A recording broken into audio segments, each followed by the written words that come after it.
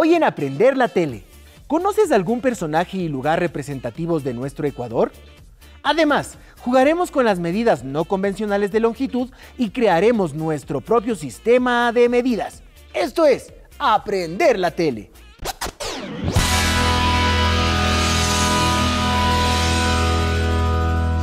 Aprender la tele. Hola chicos. Hola chicas. Bienvenidos y bienvenidas a un nuevo programa de, ustedes ya saben, ayúdenme a decirlo. ¡Aprender la tele! Muy bien. Recuerden una cosa, que si ustedes están en segundo, tercero o cuarto de básica, es decir, tienen entre 6, 7 y 8 años, este es su programa. Así es, la franja elemental. Elemental, mi querido Watson. Queridos amigos y amigas, quiero decirles algo. Este programa, este programa está dedicado para ustedes, para aprender cosas maravillosas, para imaginarnos mundos diferentes. Claro que sí. Y les quiero preguntar algo sobre eso. ¿Cuál es su materia favorita? ¿Cuál es la materia en la que ustedes vuelan con todas las cosas que les dicen? ¿Será matemática? ¿Será ciencias naturales? ¿Será ciencias sociales? No lo sé. ¿Cuál es? No se vale decir todas, ¿eh? Porque sí, uno tiene una materia favorita. Les voy a decir la mía. La mía es la historia. Sí. Porque con la historia yo puedo recordar esos lugares maravillosos donde se hizo la historia. Sus fechas, sus personajes, su forma de vestir, su forma de hablar. El otro día estaba leyendo un libro de historia, ¿sí? De nuestra historia ecuatoriana y leí sobre un personaje fascinante. La señora Matilde Hidalgo de Prócer. ¿Quieren conocerla? ¡Webster! ¡Ñaño! ¿Cómo te va? Por favor, ¿nos puedes decir algo sobre la señora Matilde Hidalgo de Prócer? Matilda Hidalgo de Procel nació en Loja el 29 de septiembre en 1889 y murió en Guayaquil el 20 de febrero de 1974. Es una de las mujeres más destacadas de la historia contemporánea. En 1913 se convirtió en la primera mujer bachiller del Ecuador. Entró en la universidad y eligió una carrera que entonces no cursaban las mujeres, medicina. Se doctoró en 1921 en la Universidad Central del Ecuador, en Quito.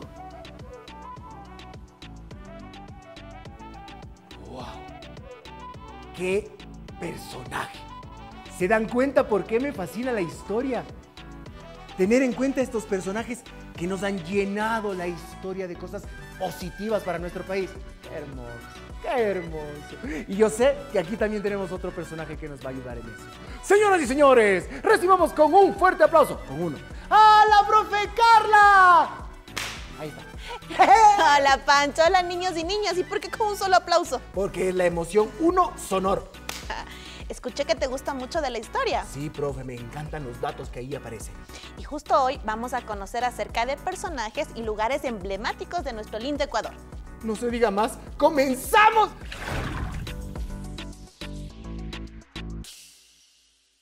Miren lo que tenemos de aquí. ¿Qué vamos a hacer, Pancho, el día de hoy? Vamos a hacer un concurso, un juego. Un juego tradicional, porque lo lindo de ser ecuatorianos es que tenemos juegos tradicionales. Y Pancho y yo hemos escogido hoy el juego de los... Ensacados. Seguro que ustedes han jugado los ensacados. ¿Cuáles son las reglas, Pancho? Las reglas son las siguientes. Debemos usar un saquillo o un costal de estos. Puede ser también si ustedes no tienen un saquillo, un costal, una funda. O puede ser también una funda de tela. Ajá. Tiene que ser un poquito resistente nada más porque el juego es una locura. Ahora, lo que debemos hacer es colocarnos estas fundillas y luego recorrer un camino que nos van a determinar. Y según el tiempo será el ganador o el perdedor. Ustedes pueden ponerse de acuerdo en la regla, si quieren hacerlo por tiempo o por el- la distancia que queremos recorrer. Y lo bueno es que pueden ser varios participantes, no solo dos. En este caso estamos Pancho y yo, pero pueden hacerlo con todos los amigos. ¿Y sabe qué es lindo de todo esto? Que ahora que estamos en época de pandemia no podemos tener deportes de contacto, juegos de contacto. Este nos sirve para estar el uno de un lado y el otro del otro lado. ¿Listos? A ver, entonces, ¿a quién le van? ¿A Pancho o a la profe Carla? Vamos a empezar. Vamos a empezar. A ver, empieza. Pero Pero no sería bueno empezar acá. Sí, tiene toda razón. Empieza usted, profe. Ya, pero me tienes que dar ventaja. A ver, una regla. Empezamos después de ponerme el saco. Claro que sí. Ya. Y tenemos que ir alrededor de estos conos. Ya. Hasta llegar nuevamente acá. Vamos a ver, estamos atentos ahí afuera. Tome el tiempo, esto dice. Alrededor. Alrededor. Seguro. Ah, segurísimo. Este es el juego de los ensacados. Inicia la profe Carla. Tres, dos, uno, ahora. Eso. Carla, Carla, Carla, Carla. Vamos, profe, vamos. Eso está muy difícil. Vamos, profe, a quedar bien a la institución. Carla, Carla. Eso. Vamos, vamos, que todos sus amigos lo están viendo en casa. Carla, Carla, Carla, Carla. ¡No se escuchan las barras! Carla, Carla. Eso, profe. Ya, Ya, mismo ya, ya. acaba. Ya mismo acaba. Ya solo queda uno, profe. Ya- ¡Oh! ¡Oh! ¿Qué pasó? Y casi, casi, casi, casi, casi está llegando. ¡Tiempo! ¡Wow! ¡Qué buen ejercicio! ¡Uy! ¿Qué? Este juego sí está increíblemente cansado. Ajá. Al mismo tiempo que vamos moviendo todo nuestro cuerpo y se va despertando, también nos vamos divirtiendo, vamos sacando nuestras risas. Casi no lo logro. A ver, Pancho, te toca. Listo, profe. ¿Listos? A ver, hacerle barra, Pancho. Pero, ¿Listos? ¿sabe qué? Le voy a decir una cosa. Solo de hacerle barras ya estoy cansado. Ahora le toca el Pancho. Ahora a sufrir Pancho. Ah. ¿Listo? En sus marcas. ¿Listos? ¡Fuera! ¡Ahora! ¡Pancho! ¡Pancho! ¡Cuidado! ¡Pancho! ¡Cuidado! ¡Pancho! ¡Cuidado, profe! ¡Pancho! uy, ¡Pancho! uy, uy. ¡Pancho! Ahí está, profe. ¡Pancho! Uh. ¡Vamos, Pancho! ¡Uy! ¡Te falta una vuelta! ¡No Ahí te voy. faltan dos! ¡Vamos, Pancho, profe, vamos! no me confunda, Vamos, profe. ¡Vamos!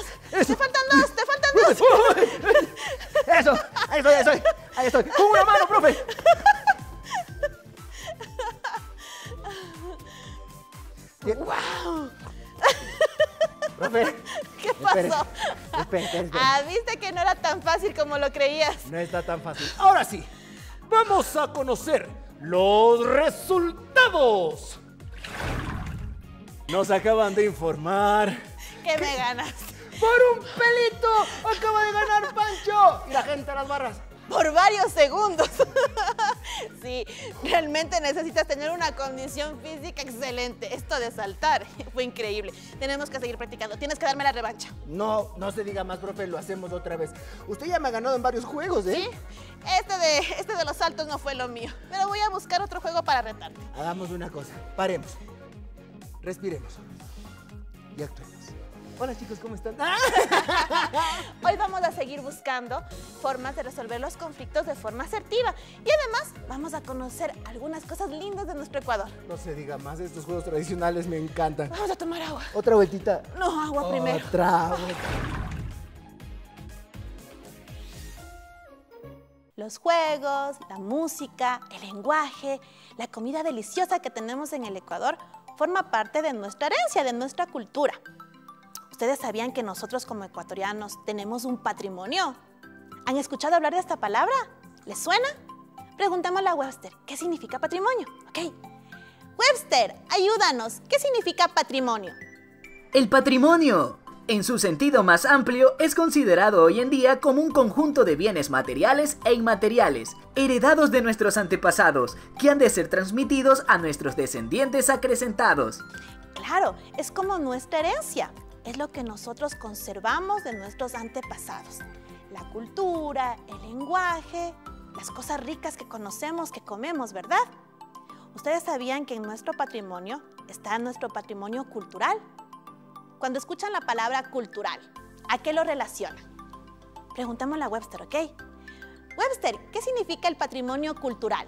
Patrimonio cultural es la herencia cultural propia del pasado de una comunidad, mantenida hasta la actualidad y transmitida a las generaciones presentes. ¡Wow! Como ecuatorianos tenemos mucho patrimonio cultural. ¿Ustedes han identificado las, las construcciones que tenemos, el lenguaje, la música, las obras de arte? Forman parte de nuestro patrimonio cultural.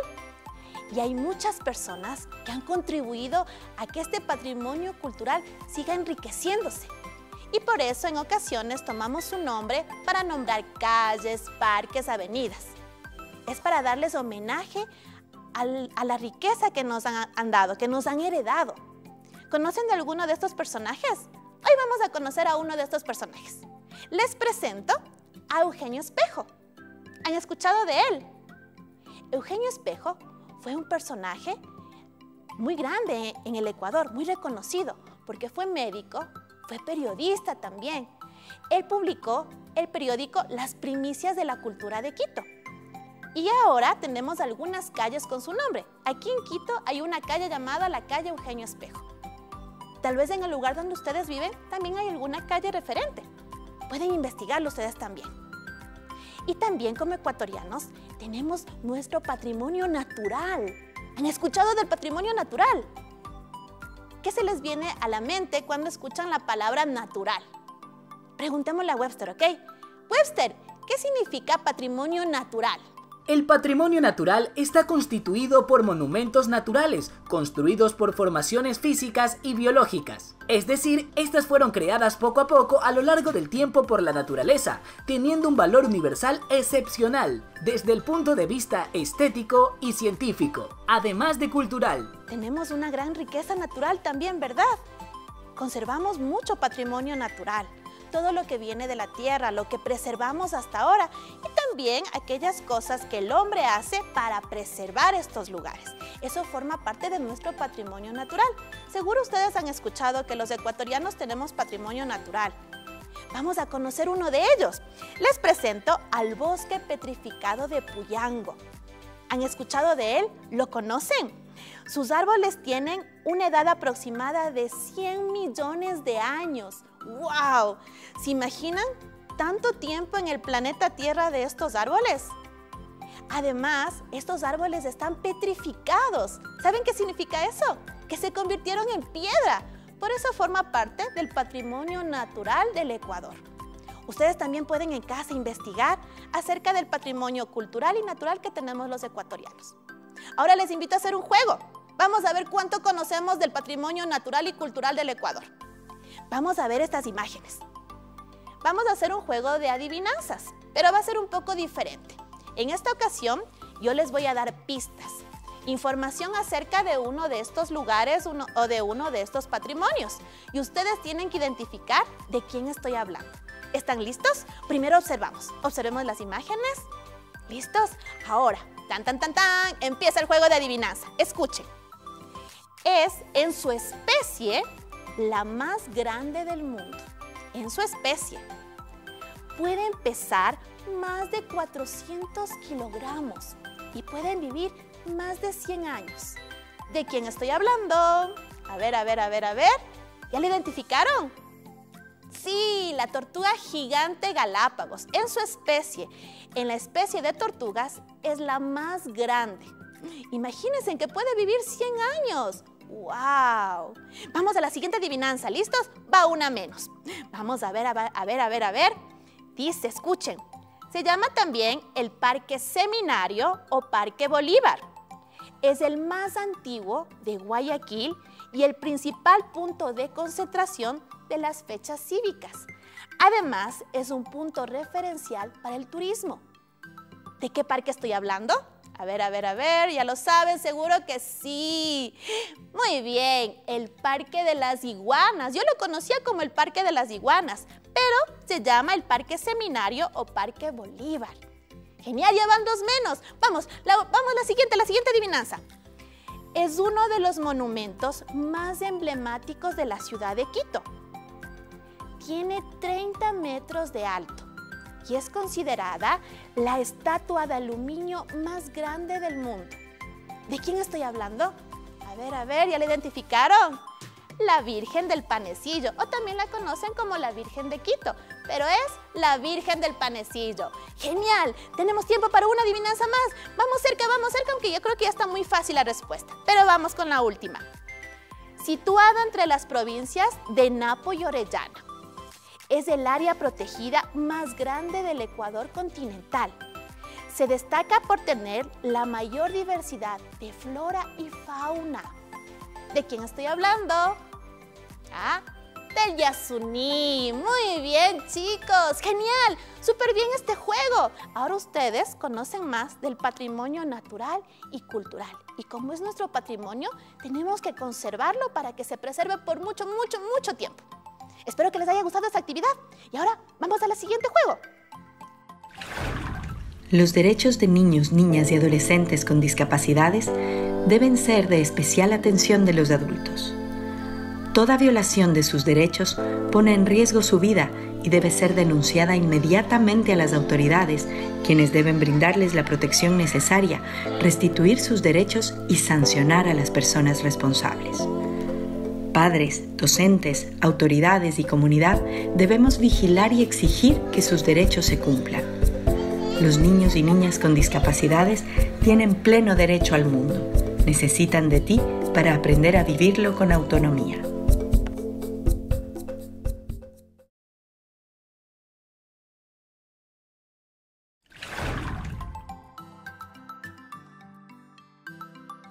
Vivimos en un hermoso país llamado el Ecuador. Sí, y en este país tenemos lugares que son maravillosos para nosotros, sí, que nos representan. Por ejemplo, el Parque Nacional Yasuní. La Virgen del Panecillo es hermoso monumento. O en Galápagos tenemos estas especies maravillosas, las grandes tortugas, las gigantes tortugas Galápagos, ¿verdad? ¡Ajá! Y tú las conoces, pero ahora te invito a que hagamos un juego para que las reconozcas mejor. Vamos a encontrar los pares en cada una de estas imágenes que vamos a ver.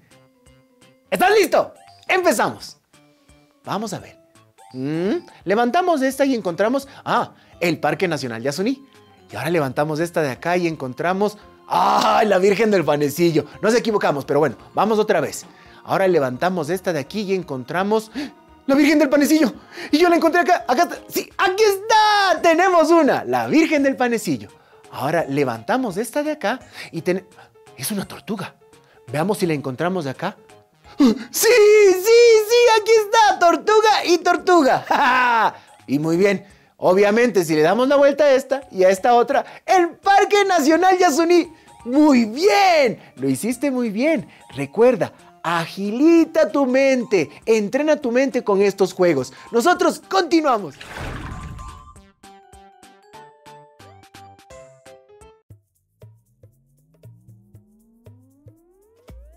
Experimentando, aunque ahora más bien parece cocinando. No, casi. Bueno, estuviste un poco lejos más bien, porque hoy vamos a jugar con las medidas, pero no con cualquier medida. ¿Ya? Sino con las medidas no convencionales de longitud.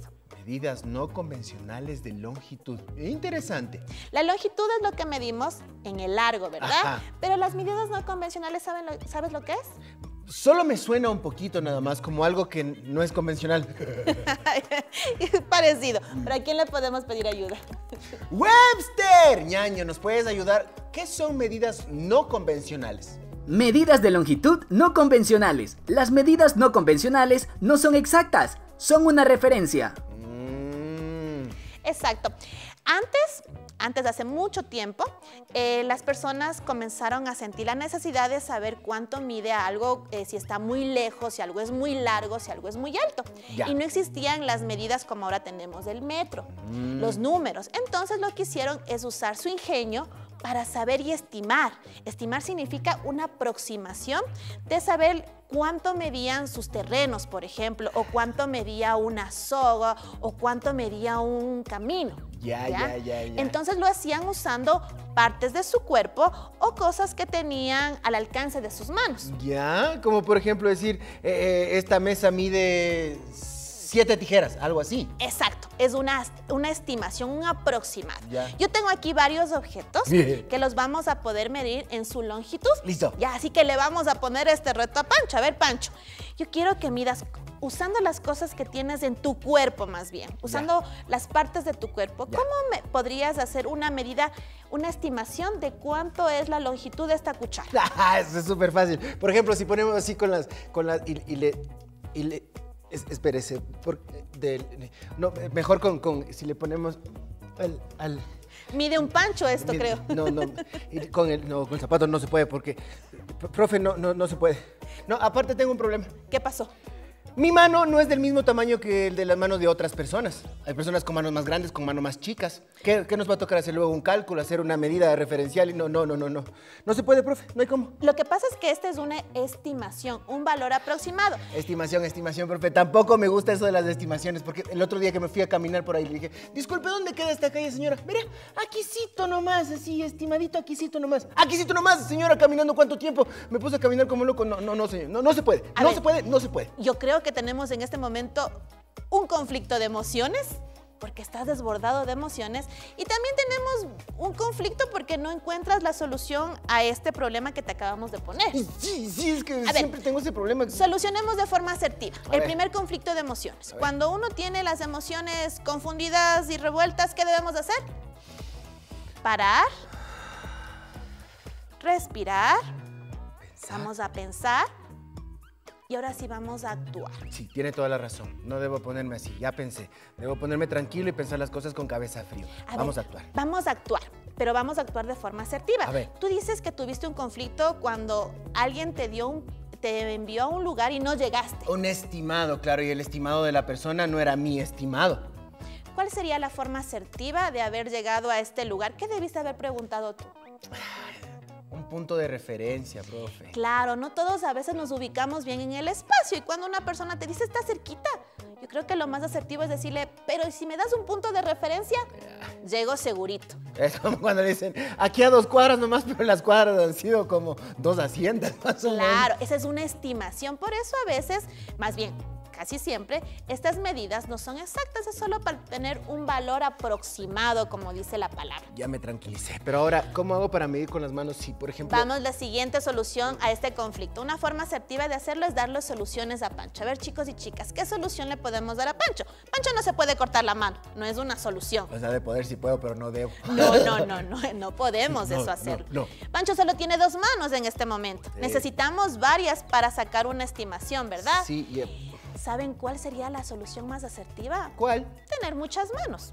¿Cómo podemos tener muchas manos? Ya sé, profe, ya sé, ya ¿Cómo? sé, ya sé, ya sé. Podemos en esta hoja dibujar nuestras manos, recortarla y así tenemos muchísimas manos. ¡Perfecto! Tenemos la solución asertiva a este conflicto, entonces lo vamos a hacer. Eso, ¿ya? profe. Y Pancho nos decía, ¿qué pasa si mis manos son más grandes que las de otra persona? Van a hacer el cálculo diferente.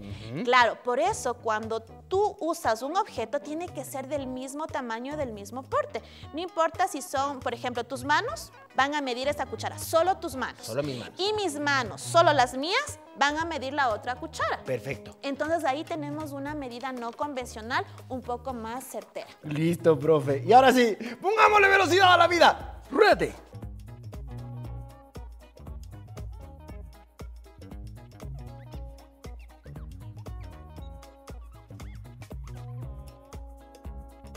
Listo, profe. Muy bien. Y qué buena idea que me dio usted de recortar todas las a la vez. Siempre me da una mano.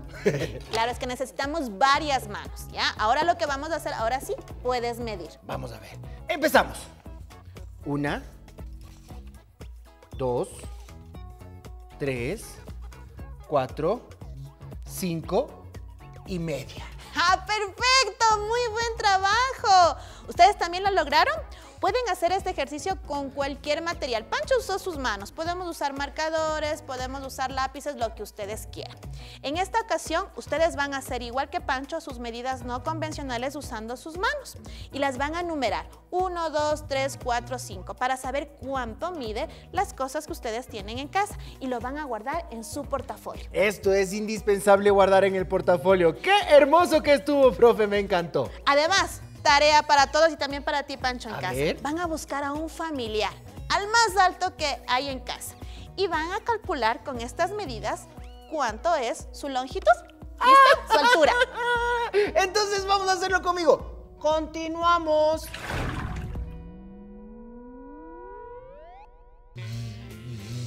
Creo que se aproxima una idea, No, profe. ¿no? Entonces, ¿qué pasa? Creo que así se vería mi cerebro si realmente se viera cuando está trabajando. Crece, crece, se llena de información. Es como una gran funda que se llena de agua. Es como, es como el... ¿Una esponja? Es como una esponja que absorbe el agua. ¡Ay, qué poético! Qué bueno, sí, porque todo lo que aprendemos eh, va a nuestro cerebro y enriquece nuestra cultura y también nuestros conocimientos. Así es. Yo, que era peleado con los números, ahora me fascinan, profe. Y hoy aprendimos una forma divertida de medir, de calcular, de estimar con las medidas no convencionales. Sí, tuve un conflicto. Al principio pensé que no servía, que no me iba a valer, que mis manos... ay, y la profe me ayudó a resolver ese conflicto y luego, mediante la manualidad de hacer las manos, aprendí cómo usar una medida no convencional. Y resolvimos el problema, el conflicto, de una forma asertiva, proponiendo soluciones, no más problemas. Exactamente, la profe me dio una mano. Literalmente nos dibujamos la mano y la usamos para las medidas no convencionales. Ajá. Y ustedes tienen que guardar en su portafolio las medidas no convencionales. Pueden usar la mano como hizo Pancho o hacer que, ¿qué otra parte podemos usar? Pueden usar un dedo, pueden usar una uña, pueden usar el pie. Pueden usar material del entorno, esferos, lápices, caja, lo que ustedes necesiten para estimar, para hacer una medida estimada de la longitud. Y eso va a guardar en su portafolio. Además, chicos, ustedes tienen una tarea. Van a escoger un miembro de su familia, el más alto, Uy. y van a estimar cuánto mide, usando sus medidas no convencionales. Y este registro lo van a hacer en su cuaderno. ¡Wow! ¿Se imagina medir al tío Alberto que mide casi 2.10 por agujas? Una aguja, dos agujas. Sería un ejercicio muy interesante. y muy largo. O podríamos usar lápices de colores. Eso. Me encanta, me encantan las matemáticas. Profe, así a quién no le va a gustar las matemáticas. Cada día me divierto más con usted y aprendo muchísimo más, así que tengo que decirle gracias. Gracias, Pancho. Yo también estoy aprendiendo mucho y además me gusta identificar estas formas de resolver los conflictos de forma asertiva. Me encanta. Muy bien. Y no lo olviden, si ustedes quieren enviarnos fotos, videos, saludos, todo lo que quieran, pueden hacerlo a las redes sociales de Educa Contigo con el hashtag Aprender la Tele, siempre con la autorización de una persona adulta. Me encantó la clase de hoy a mí también, A mí también. Nos divertimos un montón. Nos divertimos mucho. ¿Te parece si seguimos midiendo cosas? Vamos, pero tenemos que terminar la clase. Ah, sí. Yo quería continuar. En casa podemos continuar midiendo todo lo que queramos. Nos despedimos. Esto fue Aprender la Tele, un espacio de Educa contigo. Chicos y chicas, el día de hoy deben guardar sus medidas no convencionales de longitud.